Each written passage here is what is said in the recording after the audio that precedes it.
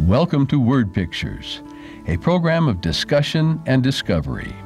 We examine the stories, events, and persons as described in the Word Pictures presented in the 66 books of Scripture we know as the Word of God. But what kind of God is pictured here? By reading these stories, some become fearful, others adore. Yet others are just confused.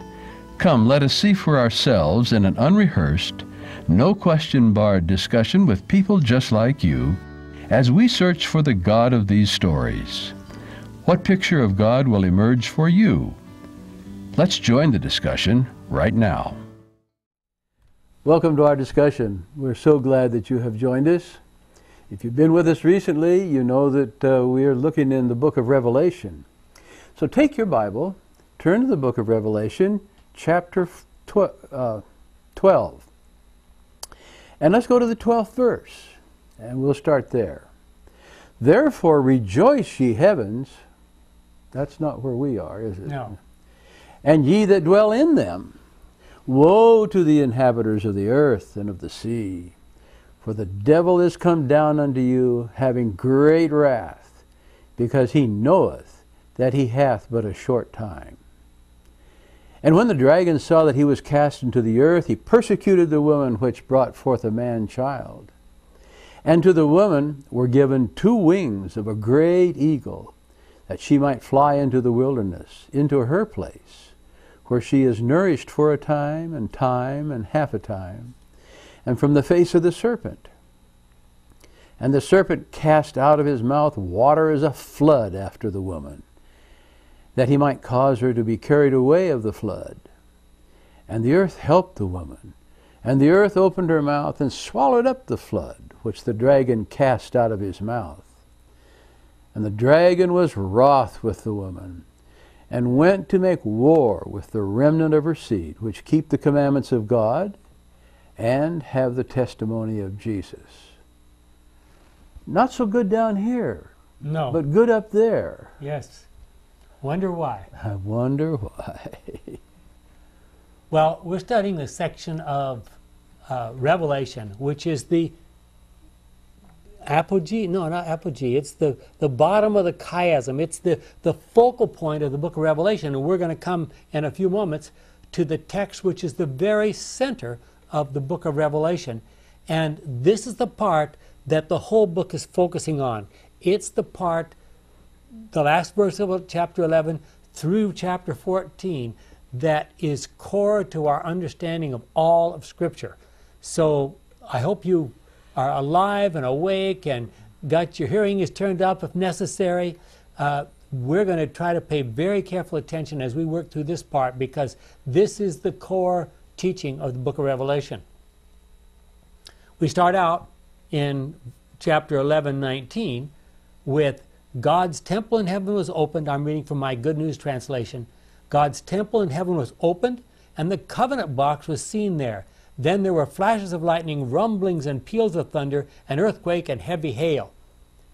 So now he is looking into what place? Most holy place. The most holy place in the sanctuary in heaven. Have we had any experiences looking into the sanctuary prior to this in the book of Revelation? Every new group of sevens opens with another look into the sanctuary in heaven.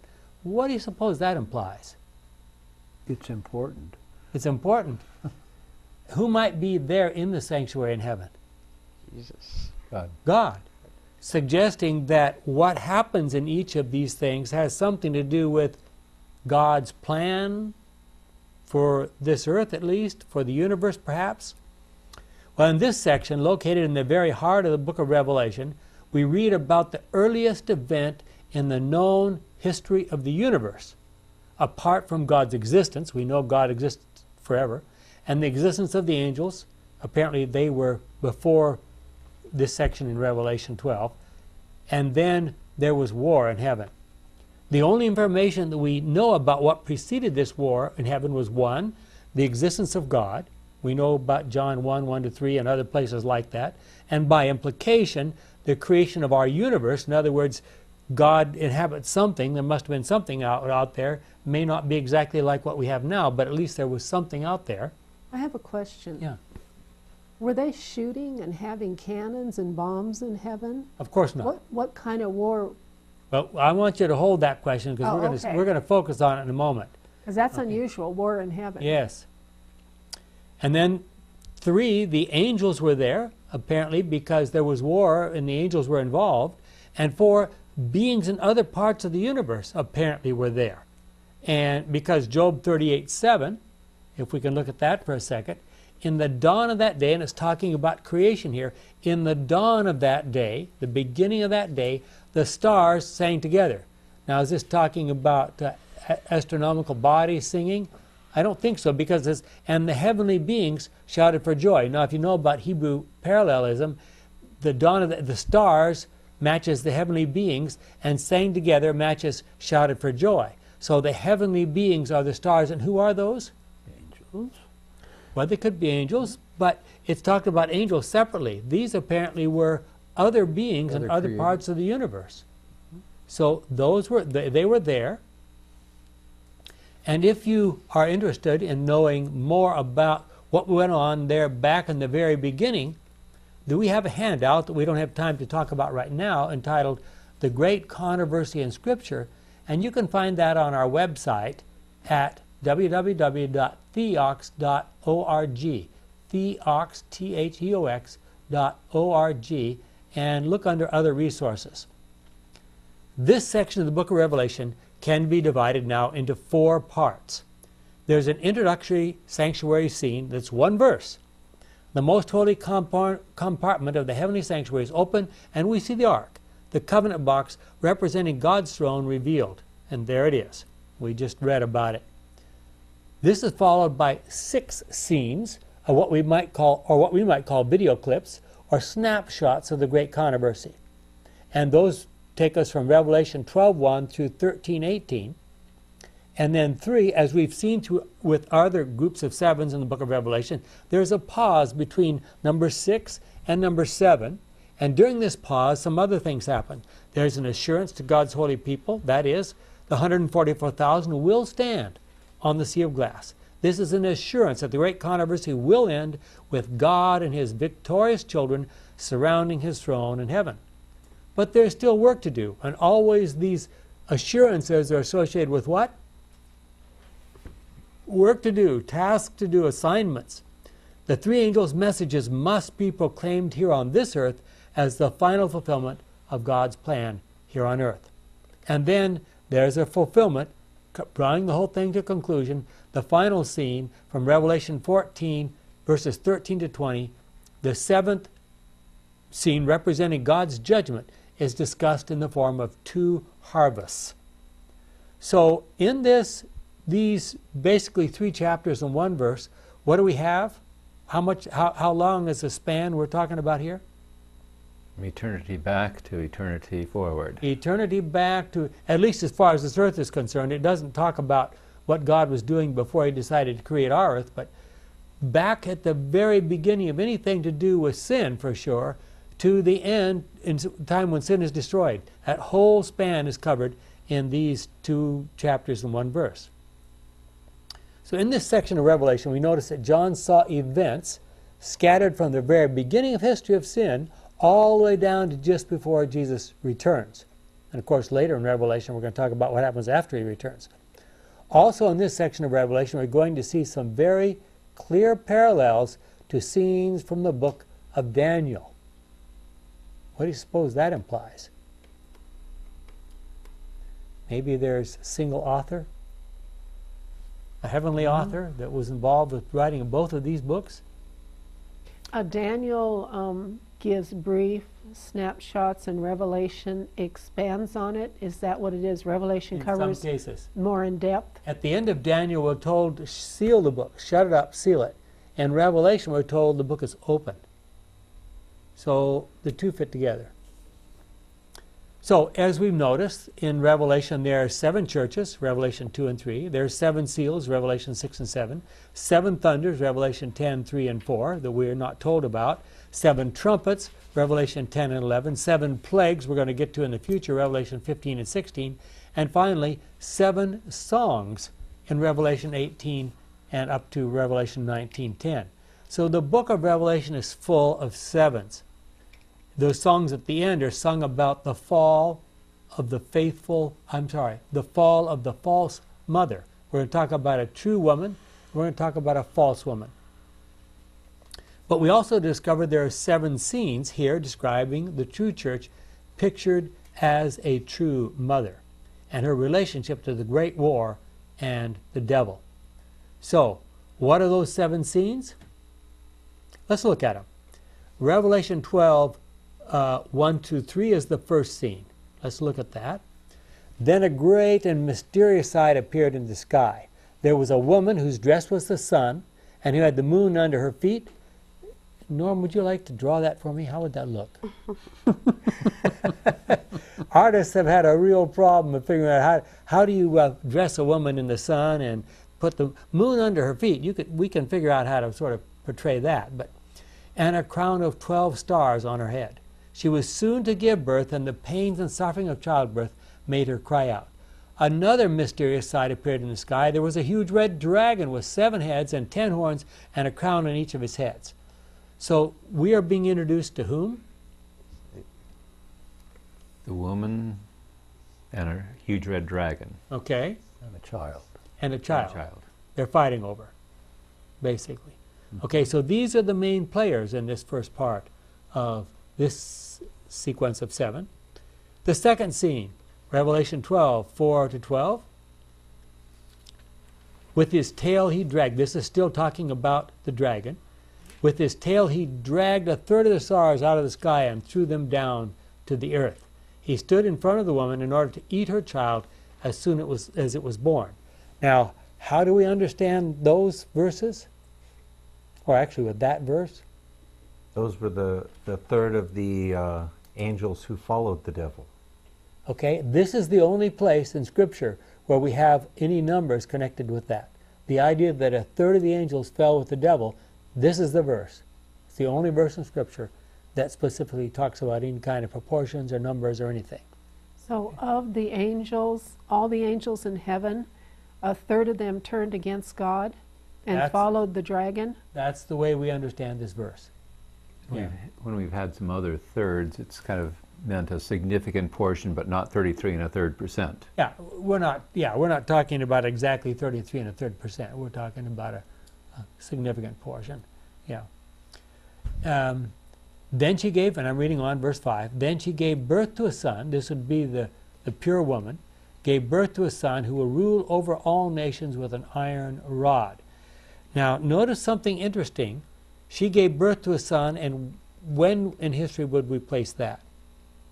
Would that be Christ's birth? we, we uh, virtually everyone who reads this and, and believes that Revelation has some kind of historical relationship, unless they believe it's completely just symbolic or something, would say, yes, this involves Christ's birth. But notice the next part of the same sentence who will rule over all nations with an iron rod. And when does that happen? In the future. After the second coming, isn't it? So here's one sentence, and this isn't the first place this has happened. This happened even in the Old Testament. Micah 5, verse 2. Same thing. The first part of the sentence connected to his first coming, second part of the sentence connected to his second coming. But the child was snatched away and taken to God and his throne. And of course, that would be the miraculous resurrection of Christ and his return to heaven. The woman fled to the desert to a place God had prepared for her where she would be taken care of for 1260 days. The woman fled to the desert. What do you think that's talking about? Well, if the woman is fleeing, mm-hmm. something bad is happening to her that she's running away. Mm-hmm. And there was a time in earth history when the church was undergoing some severe persecutions mm-hmm. during the, we call them the Dark Ages. It might be that this is what it's talking about. Okay. And she flees to a wilderness. That would be run away from. Now, in the book of Revelation, particularly in chapter 17, it just specifically says waters refer to places where there's a lot of people. So if she's fleeing to the desert, would that suggest she's, she's running away from populations of people, right? Then we come to, uh, well, we going on here. Then war broke out in heaven. Wow, war broke out in heaven. Joanne, here you go. Michael and his angels fought against the dragon, who fought back with his angels. But the dragon was defeated, and he and his angels were not allowed to stay in heaven any longer. So here's where it talks about the devil and his angels being thrown out. The huge dragon was thrown out, that ancient serpent called the devil or Satan, that deceived the whole world. He was thrown down to earth and all his angels with him. Now, there is something you can uh, discuss at your length privately with your friends if you like.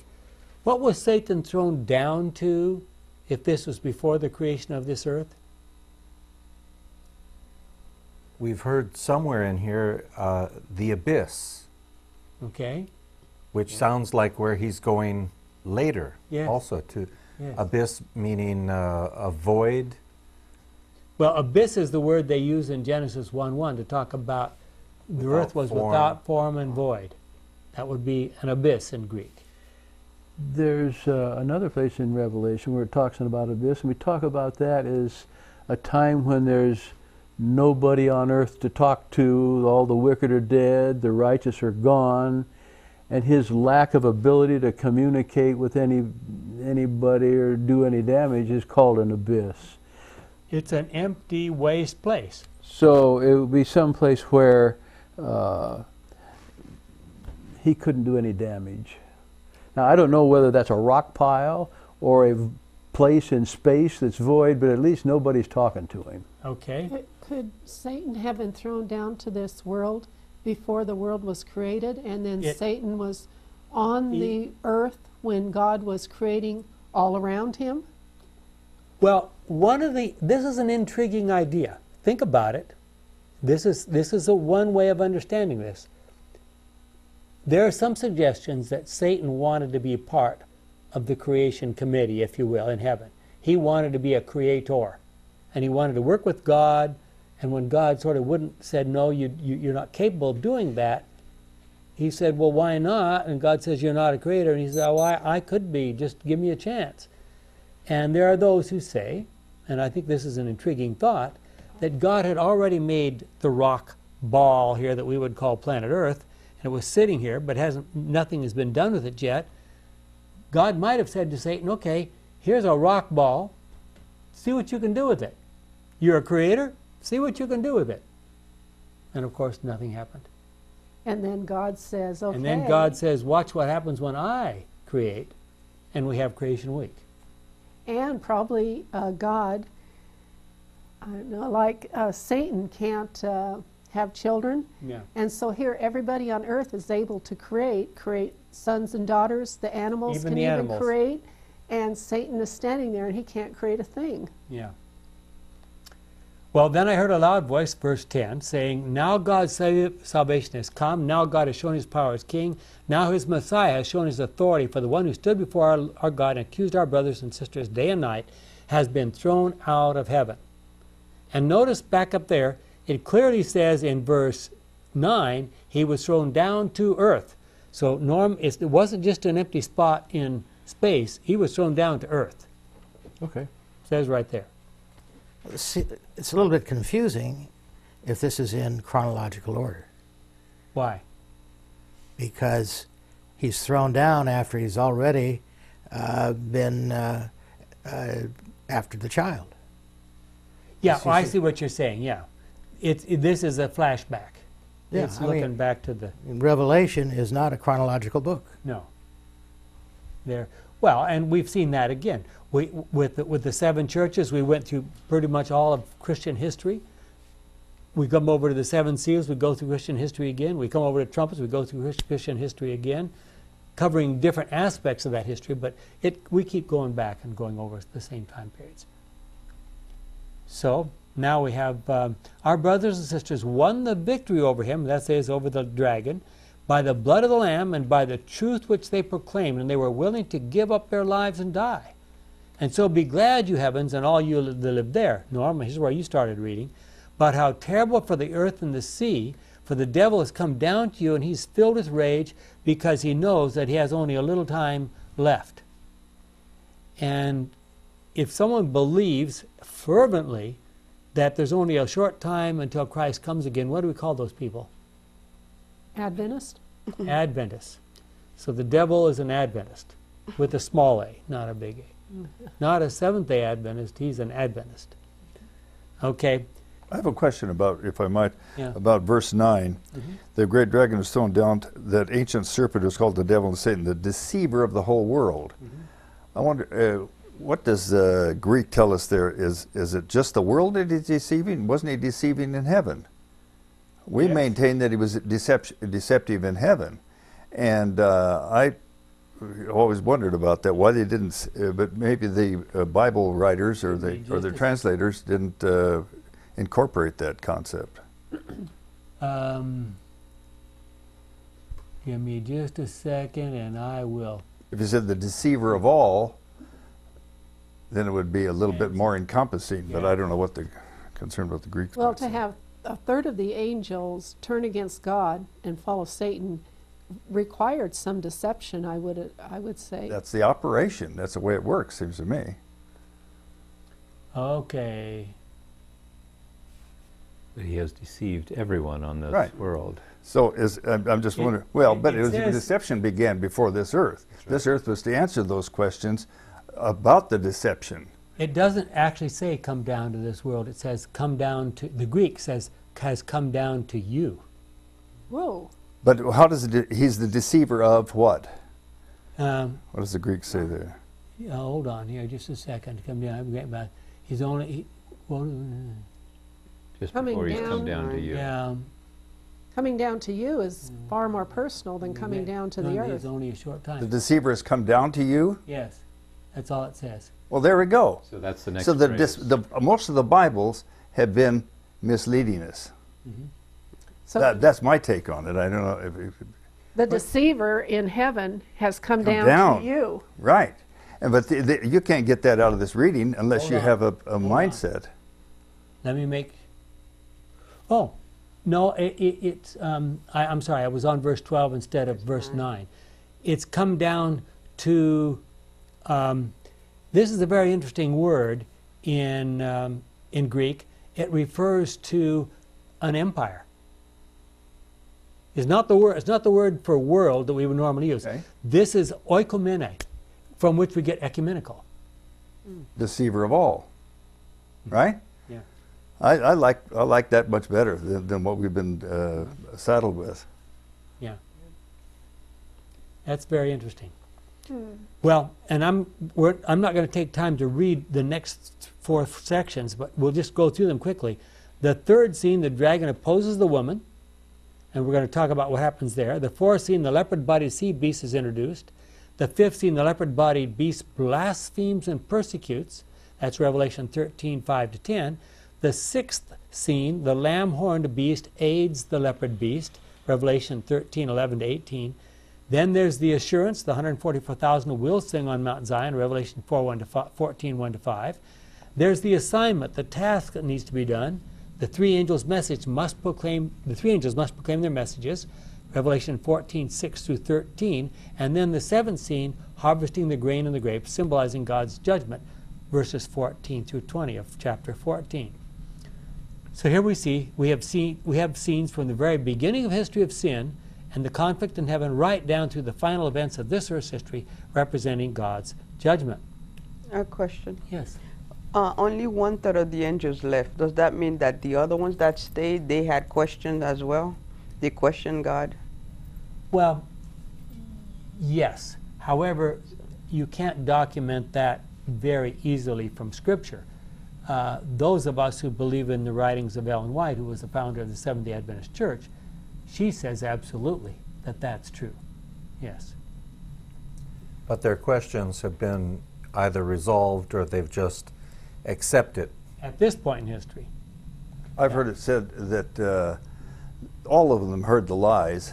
The two thirds that hung around it in heaven chose to stick around to see what the evidence would bring forth, and the full ultimate uh, evidence was at the cross. They, yes, God is righteous, as he, as he What, what do we know about why the war started in heaven? It seems that, um, you know, just put simply, perhaps God had a plan and, and others, the devil, may have had something else in mind, a different path, rather than every word that God said.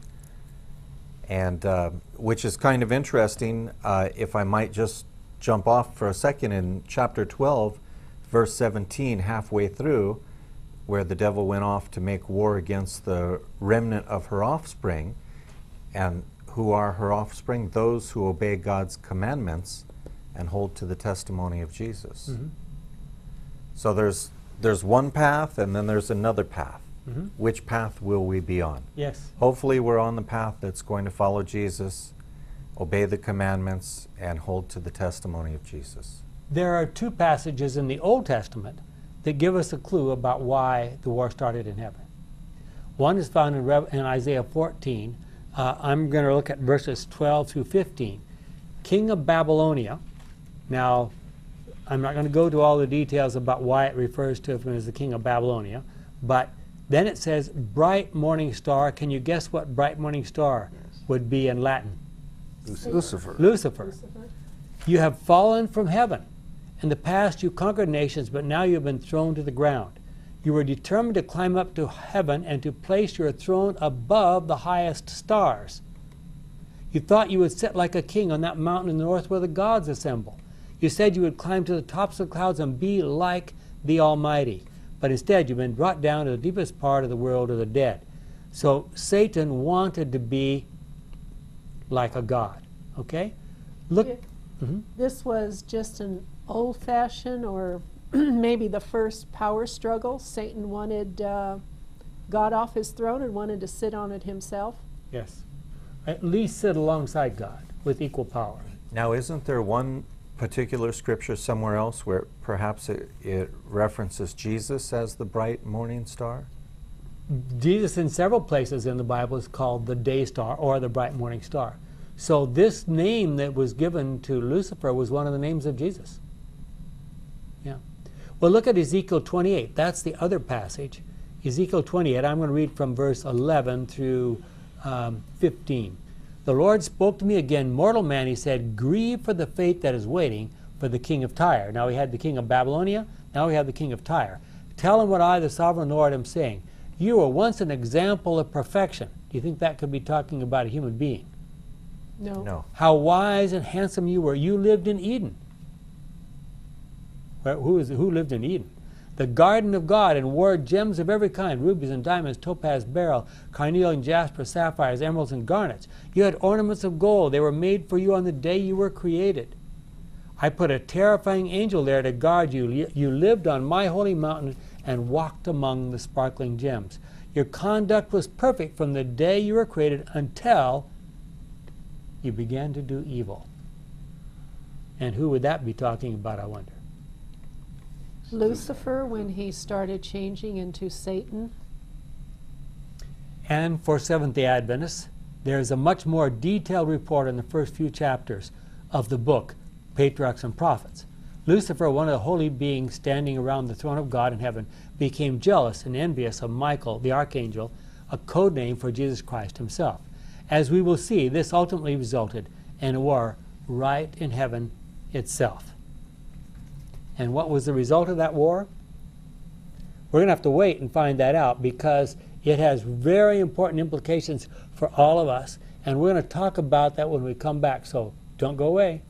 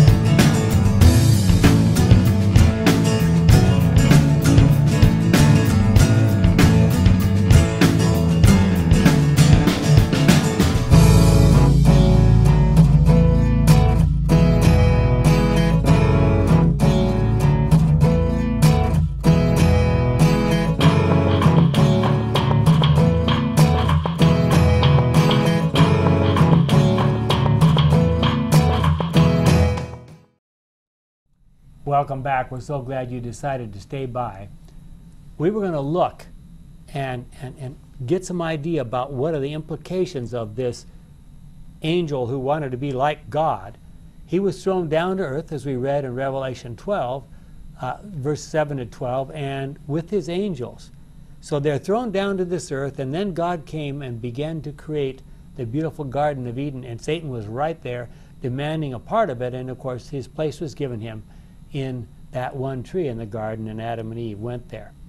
So we have to recognize that the war that started in heaven is spread very quickly to this earth. Um, and the hardly creation had happened here until the, it, was, it was spread here. When Oh. God, yes, What kind of war was it? Are we ready Well, for that? okay. Are we still coming to that? yes, that's a good question. Um, clearly, it wasn't a, war with guns and cannons and airplanes and so forth like this. I mean, how could those things possibly do anything to an angel that you can't even, at least we can't even see? Uh, and he can fly faster than any bullet anyway, so why would that be a problem? So people have discussed that. Um, some have suggested it was a war of ideas. Some have suggested that uh, when this war started, God the Father, the main source of the glory, and Christ had veiled his glory to walk among the angels as an angel. That's why he was called Michael the Archangel. And the Father stepped back and veiled his glory, stayed. It doesn't say, it doesn't talk about him being involved in the war. But then, after the the, the, the ideas and, and the, whatever war was talked happened took place for a period of time, and it seemed pretty clear that everybody had pretty much decided which side they would be on. Then the Father came out again, and those who were out of harmony said, "It's time for us to get out of here." And that word war, where, what word does that come from? In Greek, you're talking. I, I'd have to look and see here. Hold on. I'm wondering if that defined it. 12.7 and 12.7. Yeah, hold on here just a second. Let's go to where we can get to that very quickly. Just to learn what went on in heaven. Does Jesus visit um, other planets and stuff and to be nearer the beings he, he uh, can be one of them? Yeah, yeah. War is a polemic, Polemic, polemos, polemos. What does that mean? Greek. Well, we use the word polemic in our day to refer to a, a real intense argument of words and so forth. Would it be like politics, polemos? Politics? Well, yeah, it's, it's related, but this is a conflict. So uh, it could be a conflict of ideas, words, uh, argument, Truth versus untruth. truth or- or versus untruth. Okay. So the war in heaven was truth versus untruth. Mm-hmm. What do you think were the chances that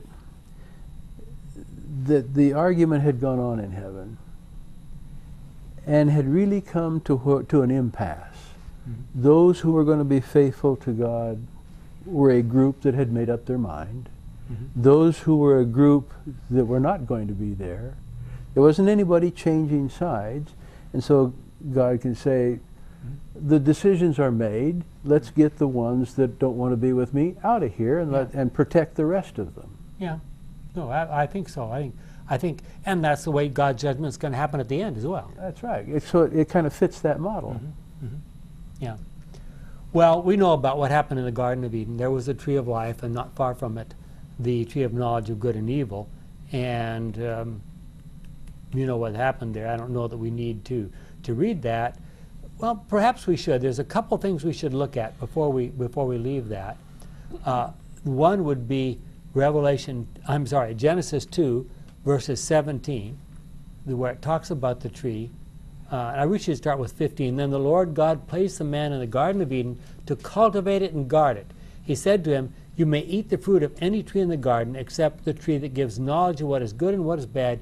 You must not eat the fruit of that tree. If you do, you will die the same day. And what was Satan's response to that? You will not certainly die. Genesis, yeah, you will not certainly die. Genesis 3:1. Now the snake was the most cunning animal that the Lord had made. The snake asked the woman, Did God really tell you not to eat fruit from any tree in the garden? We may eat the fruit of any tree in the garden, the woman answered, except the tree in the middle of it. God told us not to eat the fruit of that tree or even touch it. If we do, we will die. The snake replied, That's not true. You will not die. God said that because He knows that when you eat it, you will be like God and know what is good and what is bad. Now, they already knew what was good, so what are they going to learn by eating from the tree? They're going to learn what's bad, right? So Satan brought his arguments and his untruths from heaven down to mm-hmm. earth and tried them out on Eve. Mm-hmm. And she fell for it. And isn't that just like a human? God gives you everything in the world. And she wanted the one thing that God says don't do it. Mhm. Well, Satan, of course, claimed that God was withholding something from Adam and Eve that ought to be, you know, might have sounded like it was really, really desirable. And of course, when God came down to meet them in the cool of the evening, what happened? They ran from God. They ran. They were. They ran away because they said we're naked. How do they decide that? Well, that's a good question. There's no key text that explain why they decided that, but he promised them that sin would eventually be dealt with, and that would be a revelation. I'm sorry, Genesis. Sorry, I'm stuck on Revelation. Genesis 3:15. It's very interesting if you look at that verse in the original languages. I will make you and the woman hate each other. Her offspring and yours will always be enemies. Her, her and that, that part in there is, is in plural.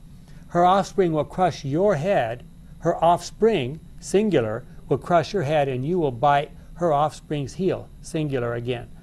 So the the people who will be affected are all of us, but one person is going to crush the Satan's head, and who would that be? Christ. Mm-hmm. Jesus. I will see to it that the woman hates Satan and that her children will resist Satan's children. One of her sons will hit Satan fatally on the head, but Satan will badly bruise him. That's a sort of a paraphrase. Free translation. Free translation. and we know what happened with Cain. Almost immediately, we find that sin had terrible consequences while attempting to worship God. Cain, the firstborn son of Adam and Eve, became angry with his brother Abel because his sacrifice was not accepted as Abel's was. And that's the story of Genesis 4 1 to 16. Instead of correcting his own problem, which should have been the obvious solution, right? He became angry because his brother's sacrifice was accepted, and so he killed Abel. Notice that Cain didn't stop worshiping God, he just wanted to worship God in his own way. He didn't want to learn more about God, he wanted to manipulate God. And here was uh, from the Interpreter's Bible an interesting interpretation of that. It was a strange contradiction that the first murder came with an act of worship. It was while he was approaching God that Cain knew how much he hated his brother. He felt frustrated because he felt somehow that God's truth ranked Abel higher than himself. And if he knew within himself that this was what he deserved, he struck out all the more blindly and bitterly against a superiority that had shamed him. If I may. Yeah. But God always loved Cain, even after what he did. Just like he, uh, with his parents before him, Adam and Eve, God provided protection for him even after everything he did. Mm-hmm. Amazing. Exactly. Well, you know, even today, when we see someone who's better than us, uh, do we try to learn from that person, or we, do we want to ban that person from our life and, and Yeah. have them go away? Yeah. Well, God asked Cain a question. What was the question? Where's your brother? Where's your your brother? Exactly. That raises questions in our mind. Um, how do we treat our fellow human beings? And Jesus talks a great deal about that. To come back, however, to the story here in Genesis now, we have the little bit of background. Scene one the woman, her child, and the dragon are introduced. We should think immediately of Eve, her promised seed, singular, and the lying serpent. So, what do each of these be- beings symbolize? Right down through history, God's chosen people, who in modern times are referred to as His church, have been represented by a pure and virtuous woman. So, in our symbolism now especially as we look forward to the, the rest of the book of Revelation, we're going to be talking about women, good and bad. And women, we're going to say, refer to what? Church. Churches, significant churches. There's going to be a good woman, represents a pure church, and an evil woman, it'll represent what? A bad A false church, a false, a bad church. So, right down through history, it's been like that. At times when God's people were not behaving, they were represented as a sinful woman. And uh, some of the things that God says about His people when they're not misbehaving, well, I mean, when, they're, when they are misbehaving, when they're not behaving, is um, almost too risque to read. Um, try looking at Ezekiel 16 and 23, for example. We won't go there right now. Um, so, frequently in Scripture, we are reminded that God is surrounded with a garment of light. Psalms talks about that quite a bit. Jesus is the Sun of righteousness, Malachi 4 2. God's people are the sons of light, Luke 16 8 and 1 Thessalonians 5 5 to 8. To people living on this planet, on this planet, the sun, the moon, and the stars represent major symbols of light. Truth and light are God's symbols. Uh, Jesus himself said, I am the way, the truth, and The light. But sometimes that light gets so bright it's described as fire, is it not? Yes. The seed born to the woman represented here in Revelation by the male child can only possibly refer to Jesus Christ himself. Isaiah and Micah prophesied his coming, and you know those verses. Uh, Isaiah 7:14 and Micah 5:2, for example. While Jesus was born to Mary as an individual, symbolically he was given birth to, by and to the people of God. He grew up among the Jews. His birth had been eagerly awaited for centuries. The great red dragon is a fitting symbol for Satan, the former Lucifer. While we know, and of course, how did he first appear to human beings? Is it snake? As a snake, which is pretty close to a dragon, right? While we know that Satan is being originally is a being originally from the courts of heaven and not appearing physically and visibly on this earth, he and his representatives are very active here. So what happened in light of this story? King Herod tried to kill the baby Jesus, Matthew 2, 1 to 12. The Jewish Sanhedrin begged Pontius Pilate to kill Jesus, John 18, 28 to 38. Rome officially crucified him. All these individuals were acting under the direction of Satan himself. But they couldn't keep Jesus in the grave. He arose triumphantly and returned to God in heaven and sat down at his right side. How does Satan cause people to want to kill Christ, to kill the baby, to kill the baby Well, Jesus? Um, He, he looked like a threat to them. Their political system, he was a threat to their political system. Yeah. If the, the king sees someone else being born who is potentially a king, if you want your, your children to, get, to be the future kings, you get rid of them. I, I think Joanne was asking, how does Satan influence people to, to act that way? And uh, I'm, I'm, I'm saying he does that by portraying and getting them to think in their minds that this person is a threat to them. Yeah. He, he instills the same pride, the same characteristics that Satan has burning inside him Mhm. into people, so they develop the pride that leads to um, wrong actions. Yeah. Yeah. So, in these first few verses of Revelation 12, we see an ideal true church representing by a, represented by a pure woman, her male child that we say was Jesus, and Satan himself acting on this earth through, in the early stages, the pagan Roman Empire, represented by this great red dragon. Any questions about that first scene? we having a little trouble getting through this in a hurry, aren't we? Scene two, the dragon wars with Michael. We've talked about this many times. Revelation 12, 7 to 12 is very clear. We do not know how war was actually fought in heaven. We don't believe that anyone was actually killed. Our TV camera, if you will, the, John has shown this in vision, so for him it was, it was like pictured, has turned back to the earliest events that we know of. When, however, the war was over, Satan and his followers were cast out of heaven and thrown down to this earth. There was a great shout of victory in heaven. This greatest shout is found in the very center of the book of Revelation. So we've talked about the big B, and the very center of that V is what? The shout in heaven which resulted when Satan was thrown out. That ought to be a clue about what things we'll be looking for, right? Speak a little bit because I'm confused about it myself. Uh, uh, when we talk about the uh, ten horns divided into ten provinces, a lot of people connect that with Augustus Caesar. Mm-hmm. Yeah. Explain a little bit. Well, the people who connect that with Augustus Caesar are people who say not even God has the ability to predict the future. So therefore, somehow or other, we have to figure out how to chop things up so that this applies to things that were happening in those days.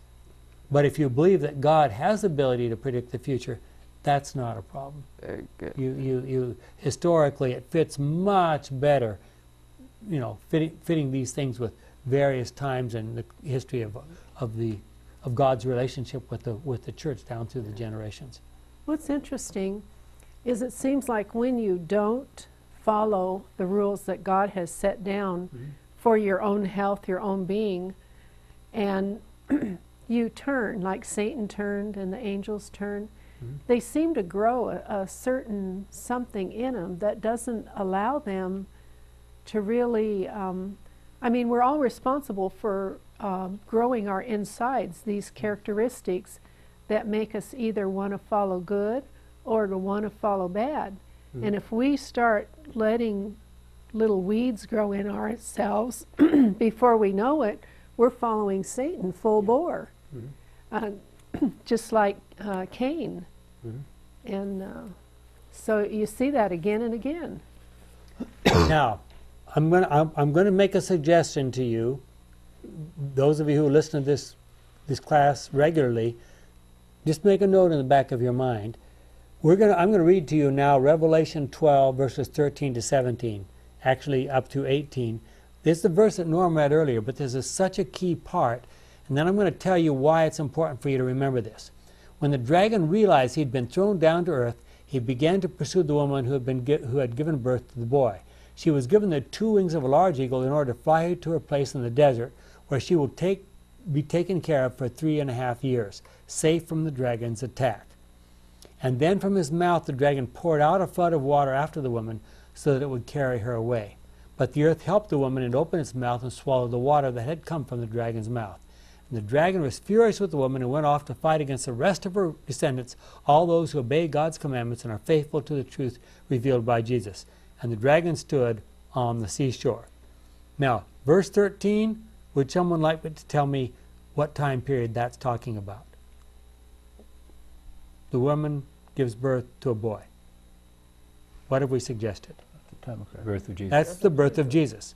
We come down to verse 17. The dragon was furious with the woman and went off to fight against the last of her descendants, the rest of her descendants, all those who obey God's commandments and are faithful to the truth revealed by Jesus. It's talking about what time period? Future. This would be the very end of our Earth's history, wouldn't it? Mm-hmm.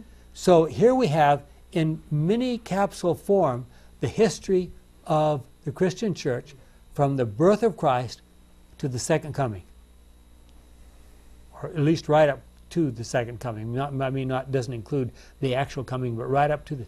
And we're going to see this same time period expanded. It's going to be expanded in chapter 13, and it's going to be expanded more in chapter 17 to 19. So keep this little bit of church history in mind. Okay? But the flood wasn't a literal flood like water. Because No. okay, they're talking about this uh, er- a flood of error and heresy. Well, there's two ways to look at that. One way is that's represented by Revelation 17:15. The angel also said to me, "The waters you saw in which the apostate is sitting are nations, peoples, races, and languages." So, some interpreters say this is a general guideline for understanding pretty much everything in the book of Revelation. That water refers to peoples and so forth like this. And that would mean that if the, if the earth opens up its mouth and swallows the water, it means that the God's true church has escaped far enough away from population that the the dragon the, the bunch of people that are sent out by the by the beast to catch them or to damage them can't get to them. There's another possibility um, that maybe we should mention. You suggested that maybe this waters that would flow out of his mouth or his false teachings and all that kind of stuff. And what would be, how would we respond? How might the earth respond to false teachings of Satan? A, a lot of people accept it, and Yeah. Okay, but one way it could respond is that the earth has given us archaeology, it's giving us geology, and as more and more of that is being discovered, especially archaeology, the false claims that Satan has made in the past through his representatives here on this earth are one by one being overturned and being shown no, that's not true. There's many, many, many, many examples that we could give of, of things that have firm, been firmly believed by people in the past, but archaeology and and uh, People so- didn't believe the Bible and different stories in the Bible existed, and then archaeology says, "Oh no, we found, uh, uh, we did a dig and we found uh, information, and look at that, the Bible's right." Yeah. But common to almost all of those interpretations is the fact that the devil and his agents here on this earth Mm-hmm. are, are going after and trying to persecute the church. Mm-hmm. But it is protected. Yeah. So that, that's kind of the bottom Yeah. line of the whole thing. Well, and there's other times. Uh, Look at the story of the flood. God's people are protected, a small group of them in the boat. Look at the story of Revelation. I'm, I'm sorry, the Exodus, and the, God's people are taken out of Egypt on eagle's wings, it says. Same kind of idea, being carried away from the corruption that were they were there in down there in Egypt. Well, sometimes And the flood of water swept away Pharaoh and his men. Sorry to interrupt. Mm-hmm. you. And, and the people in the flood. Yes. You know. And God uses uh, items of the earth to protect his people. Mhm. He split the Red Sea. Mhm. Uh, the Red Sea came on uh, the church's enemies, and uh, he used the flood. So he uses items of the earth. Yeah. Well, failing to destroy God's true church, failing to destroy to, to catch and destroy Jesus while he was here on this earth, Satan is now furious and he's determined to destroy what's left of God's representatives here on this earth. And what, what represents God's God here on this earth in our day? His church. His church. So Satan is determined to destroy God's church. So We're you're, you're saying that Satan is on all-out war against the members that Yep. step into God's church. Yes. Well, what are the identifying marks of this final group of people? They obey God's commandments and hold to the testimony of Jesus. They obey God's commandments and hold to the testimony of Jesus. But I thought I heard a lot of uh, Christian folks around the world say that we don't have to keep the commandments anymore. That doesn't seem is to be kind the of silly. Uh, we that- can murder and do all that. I guess they're Well, they implying. make a couple exceptions there. oh, okay. If it gets, So- murder gets kind of close to home. The idea is what you can you, we'll pick and choose what we like, huh? Eclectics. It doesn't say that we can obey eight of God's commandments. It says God's commandments. Okay. Revelation 19:10 gives us a little bit of a clue what we're talking about here. Revelation 19:10 I fell down at his feet to worship him but he said to me don't do it. This is an angel from heaven. I am a servant together with you and with your fellow believers. All those who hold to the truth that Jesus revealed worship God for the truth that Jesus revealed that's the testimony of Jesus is what inspires the prophets or in the more traditional translations is the spirit of prophecy. The testimony of Jesus is the spirit of prophecy.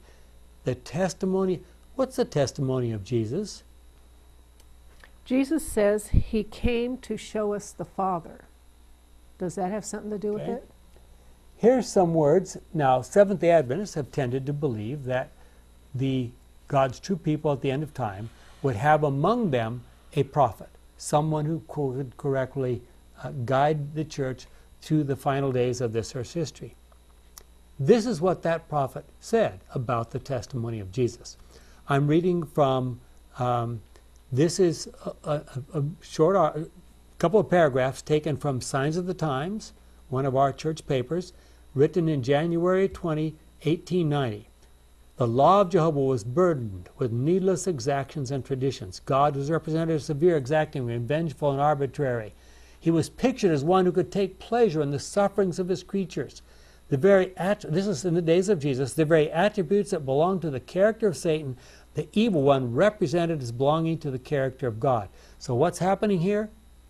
Satan has misrepresented God in every possible way by claiming that the truth, the real characteristic, his real characteristics, are God's characteristics. Jesus came. Now, this would be the testimony of Jesus. Jesus came to teach men of the Father, to correctly represent him before the fallen children of earth. Angels could not fully portray the character of God, but Christ, who is a living impersonation of God, could not fail to accomplish the work. The only way, the only way in which he could set and keep men right was to make himself visible and familiar to their eyes. If Jesus correctly represents the Father, then by making himself visible, he does what? Makes the Father He makes the Father visible. Christ exalted the character of God, attributing to him the praise and giving to him the credit of the whole purpose of his mission on earth to set men right through the revelation of God. In Christ was arrayed before men the paternal grace and the matchless perfections of the Father. In his prayer, just before his crucifixion, he declared, I have manifested thy name, praying to his Father. I have glorified thee on the earth. I have finished the work which thou gavest me to do. What was that?